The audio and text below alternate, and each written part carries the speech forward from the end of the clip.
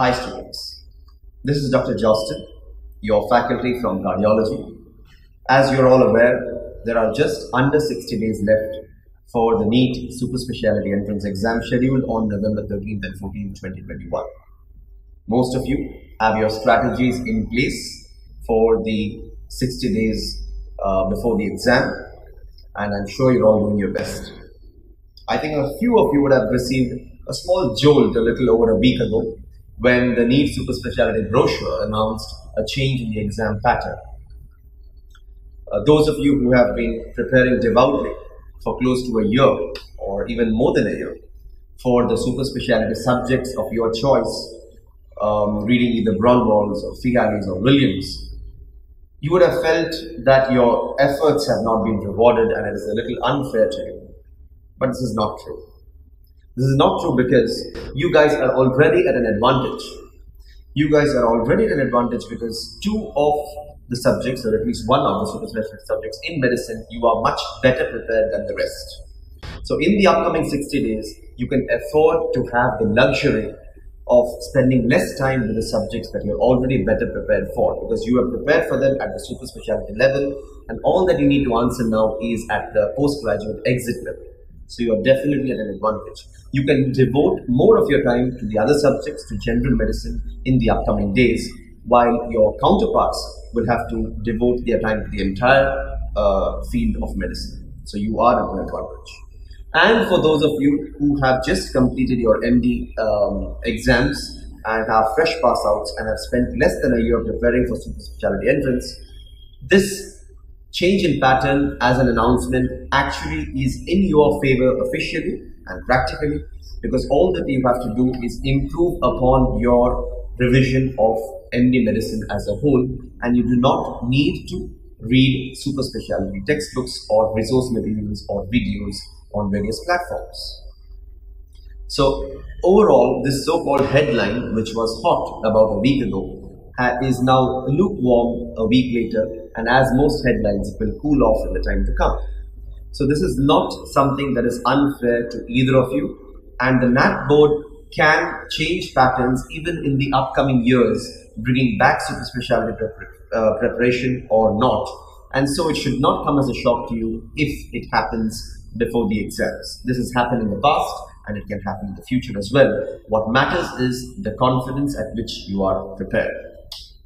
That is the first thing I'd like to say. The second thing is uh, that I'm not here to give you a motivational 70 minute ka video by Shah Rukh Khan. But my point is to tell you that there is something similar. You have start thin or less than 60 days left. And what I would suggest is that in the initial 20 days or so, you can still afford to focus upon topics that you have not uh, prepared or not visited, chapters that you have you feel that are important and you have not read. Um, you can sail into territory that is uncharted to make yourself familiar with things that are high yielding. Now, it is not probably appropriate on my part to tell you the names of topics that you should read because each student has prepared differently. Each of you guys are strong in some and weak at some subjects. And that is why the ones that you are weak at, I think you still have 20, 25 days to prepare and strengthen your comprehension, your concept-based learning on. For this purpose, you have uh, the access to your textbooks, to MCQ uh, chapter-wise books that actually enhance your comprehension, as well as the PrepLadder videos. Now, as you're aware, there are more than 600 hours of videos on PrepLadder, and it's probably not feasible at this point of time to cover 600 hours of video. At the rate of about two hours a day uh, in the upcoming 60 days, you would practically be able to complete about 100 hours of video. So choose the topics that you need to go through. Uh, have a look at about 100 hours of video of the 600 that we have prepared for you. We have uh, prepared it with, uh, especially if in my case, the cardiology that I have, uh, videos that I've prepared for you, I have prepared it literally from the heart with great passion not just to cover syllabus, but to make it as meaningfully um, and as palatably easy for you to uh, help you in solving MCQs and for enhancing your knowledge base as well. So go through those videos which could make a difference um, to improving your understanding of the concept in the upcoming days. These videos have been collaborated by super specialists like me and by faculties in general medicine as well from all over India, um, all of whom have uh, significant experience when it comes to um, answering or mentoring um, skills for cracking entrance exams. So that could be your initial 20 to 25 days. In the later 40 days, you could focus your attention on uh, memory enhancement. That is, there would not be sufficient time to learn new concepts or to improve comprehension. And this memory enhancement or revision can be uh, improved upon by solving MCQs. So you can either refer your uh, multiple choice question books, entrance exam books, or PrepLadder itself has over 24,000 solved MCQs, 10,000 of which are just for medicine, super speciality, um, entrance per se. And solving these MCQs will give you both confidence in getting the right answer uh, in improving upon your memory, which you're already familiar with, and at times give you totally new nuggets of information which have repeated in previous exams. So that could be your later part of preparation. This is just a suggestion. Uh, you don't need to modify already laid strategy. But I think this would help, especially those who don't have a very clear path as to how they would like to approach the upcoming 60 days.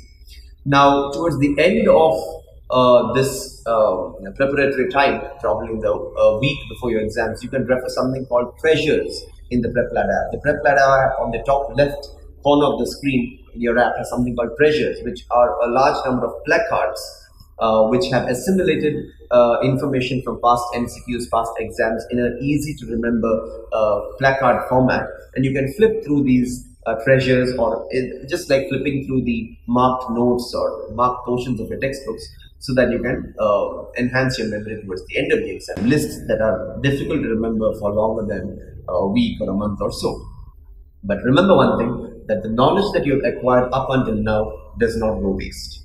Just like Amitabh Bachchan says in Kaun Banega Crorepati, the jnana that you have acquired is always permanent. Solving MCQs, cracking the entrance exam, winning one crore of rupees or sat crore is a huge bonus and definitely an incentive but never for once doubt that the knowledge that you've acquired is not worth um, what you hoped for. The knowledge that you've acquired is yours permanently. No one can take that away from you. It will always be helpful, not only in, in uh, cracking the entrance exam, but in your career in the future as well. So make sure that you devote more and more of your time honestly uh, with diligence in the days to come so that whatever knowledge you acquire helps you to crack the entrance and helps you even beyond that.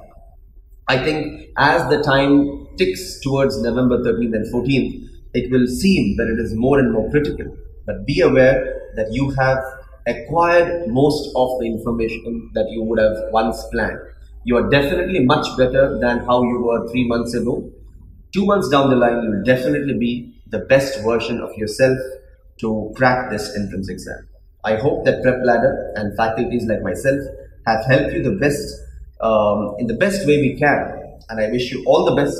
And I hope that most of you come through the other side of the exam with flying colors, with the seats of your choice and the careers of your choice. This is Dr. Jostol Pinto signing off. All the best to all of you. Bye bye.